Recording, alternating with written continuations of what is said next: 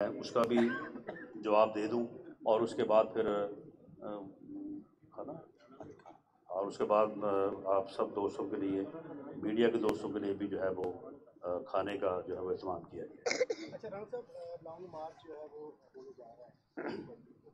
दूसरी शेख रशीद जो जो हमारे उन्होंने ये है कि सत्य के साथ पेश आया जाएगा। तो क्या समझते हैं कि वहाँ पे लड़ाई झगड़ा जैसे कि इन्होंने शेख रशीद का एक बयान आपने सुना होगा कि जलाओ, गिराओ, क्या यही हाँ देखें, जिस तरह से मैं आज बात कर रहा हूँ तो जब ये बात किया करते थे तो शेख रशीद तो जिस लहजे में बात करता था कि जला दो, गिराओ करो, मार दो, मर जाओ, लेकिन आपके सामने मैंने बात की है और मैंने तो कोई ऐसी बात भी नहीं की, बल्कि मैंने कंक्लूड इस बात पे किया है कि ये हमारी, हमारा एहतजाज होगा और अमन होगा और हमारी ये सियासी जदोजहद होगी।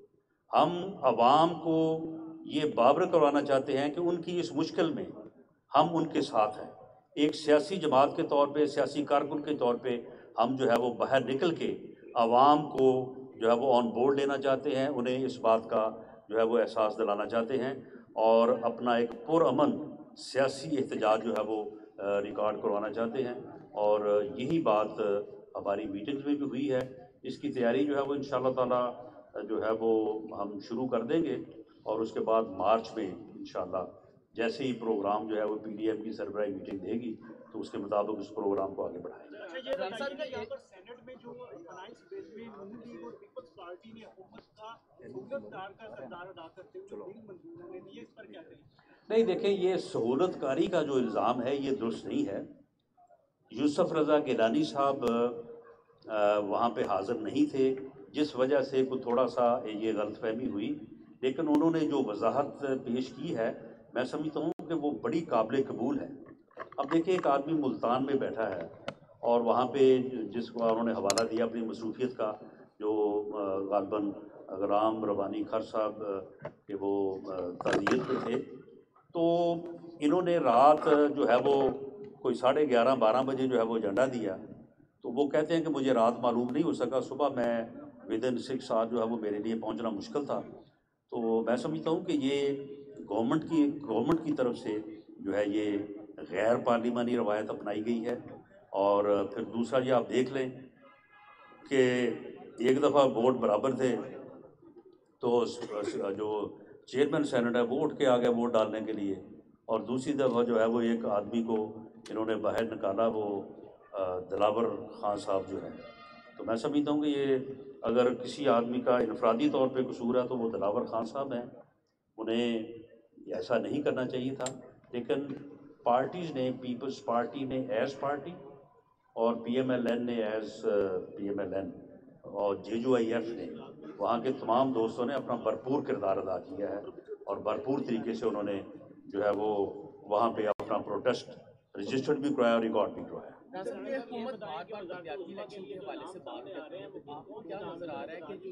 इलेक्शन के हैं आ कि ये ये पहले आ रहे हैं ये बलदियाती इलेक्शन पहले आ रहे हैं। और सेकंड ये बता दें कि शहजाद अकबर के अलावा सुना है दो दिन और भी अहम रिजाइन आ रहे हैं वो कौन से हो सकते हैं? देखें जहाँ तक बलदियाती इलेक्शन का तल्लक है बलदियाती इलेक्शन आए या जनरल इलेक्शन आए पाकिस्तान मुस्लिम लीग पूरी तरह से तैयार है। और बलदियाती इलेक्शन ये नहीं करवाना चाहते। बलदियाती इलेक्शन तो अगर हुए तो फिर वो अदालत के डंडे से ही होने हैं। आपको पता है कि के पी के में भी ये नहीं करवाना चाहते थे वो भी फिर अ, ये सुप्रीम कोर्ट तक गैस स्टे लेने के लिए नहीं मिला। तो फिर उनको जो है वो करवाने पड़े। और बाकी जो है वो जनरल इलेक्शन देखें, इनका जो हाल है गवर्नमेंट इनसे चल पा नहीं। अब देखिए, यूरिया की मैंने बात की है, दूसरी बात उससे आगे, ये अप्रैल में जो गंदम का बहरान आएगा, उस वक्त क्या बनेगा? लोग इस मरतबा जो है ना, वो गंदम की बोरी के लिए जो है वो एक दूसरे को मारते फिरेंगे। ढूंढे से नहीं मिलेगी गंदम। उसकी वजह यह है कि पिछले साल बम्पर क्रॉप हुई है तो फिर नहीं मिल रही थी।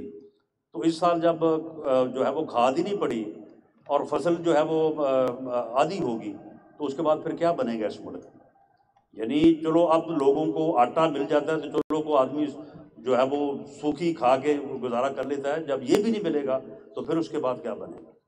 तो इसलिए अब इस वक्त मुल्क जो है या हुकूमत का जो हाल है, अब इसके अलावा अब हल कोई रह नहीं गया।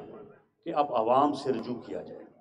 हम ये नहीं कहते, हमें हुकूमत दे दें या, हमें हुकूमत दे, हम चलाएँगे। हम कहते हैं कि आप आवाम के पास जाएँ। आइन भी यही कहता है कि जब इस किस्म की सूरत हाल हो जाए, मुल्क अफरा तफरी और अनारकी की तरफ़ जो है वो धकेला जा रहा हो तो उस वक्त जो है वो एक ही उसका हल है कि अवाम से रजू किया जाए। खल के खुदा से रजू किया जाए। खल के खुदा का, आवाम का फैसला लिया जाए। वो फैसला जो है वो बेहतर होता है और फिर आप उस मुश्किल से निकल सकते हैं। तो इसलिए हमारा तो यही मुतालबा है कि बलदयाती इलेक्शन को छोड़ें। अब आप मुल्क को बचाना है तो आवाम से रिव्यू करें और जनरल इलेक्शन जो है वो हो, आवाम जो फैसला करें, उस फैसले को जो माना जाए। लास्ट क्वेश्चन जी।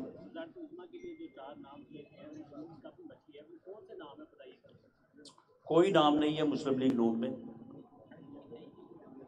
पाकिस्तान मुस्लिम लीग नून अगर किसी नाम के साथ वज़ीर अजम का नारा लगाती है तो वो एक ही नाम है नवाज़ शरीफ। मैं अगर यहाँ पे कहूँ कि नवाज़ शरीफ तो आगे से आएगा वज़ीर अजम मैं कहूँ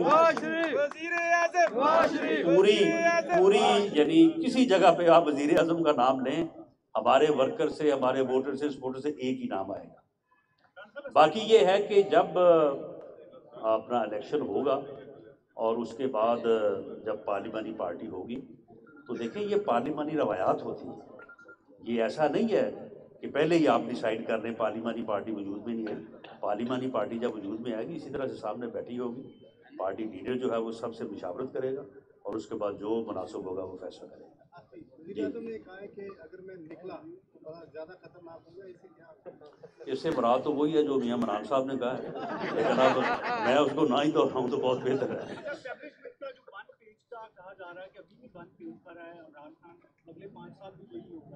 देखें जी हमें जो है वो बाप यानी किसी एविडेंस के बगैर किसी को जुटलाना नहीं चाहिए। डीजी आईएसपीआर ने ये कहा है कि वी आर न्यूट्रल और हम जो है वो बिल्कुल किसी भी जो है वो यानी साजिश में या किसी जो है वो गुफ्तु में नहीं है। तो मैं समझता हूँ कि पूरी कौम के सामने उन्होंने ये बात कही है और उन्हें अपने अमल से ये बात साबित करनी चाहिए ताकि पूरी कौम उनकी बात पे यकीन करे। पूरी कौम बावजूद तमाम तर माजी के मामलात के, पूरी कौम इस बात को चाहती भी है इस बात के ऊपर यकीन भी करना चाहती है। इसलिए उन्हें चाहिए D G I S P R साहब को कि ये जो गेट नंबर चार का चपरासी है छीता टली, ये रोज़ जो उनको जुटलाता है, रोज़ उनकी, उनके खिलाफ बात करता है, जो बात उन्होंने की है, उसको वो गलत साबित करने की कोशिश करता है। तो इसको जो है वो लगाम दें और मैं समझता हूँ कि इन ताला पाकिस्तान में जो आने वाला इलेक्शन है वो फ्री भी होगा और फेयर भी होगा इंशाल्लाह। बहुत शुक्रिया। जी जी जी डॉक्टर साहब। कोई गवर्नमेंट के एस्टेब्लिशमेंट के साथ किसी किस्म की डील चल रही है? सुना है कि फरवरी में नवाज़ शरीफ साहब वापस आ रहे हैं। देखें जी मियाँ नवाज़ शरीफ साहब जो है वो किस महीने किस डेट को वापस आएँगे ये फैसला पार्टी करेगी और मियाँ नवाज़ शरीफ साहब के साथ मुशावरत से करेगी। और जब ये फैसला हो जाएगा तो इस डेट का या महीने का अनाउंस करने की जहमत मुझे या किसी और को नहीं करना पड़ेगी। ये इन ताला पार्टी अनाउंस करेगी, मियाँ साहब खुद अनाउंस करेंगे कि मैं फ़लाँ महीने और फ़लाँ डेट को जो है वो आ रहा हूँ। बाकी मियाँ नवाज़ शरीफ साहब, ना किसी डील में इंटरेस्टेड हैं, ना किसी ऐसी गुफ्तगु में शामिल हैं और ना ही कोई इस किस्म की डील से वो वापस आएँगे। वो इन ताला जो है वो अपनी पार्टी और आवाम की मोहब्बत और ताकत से वापस आएँगे बहुत शुक्रिया।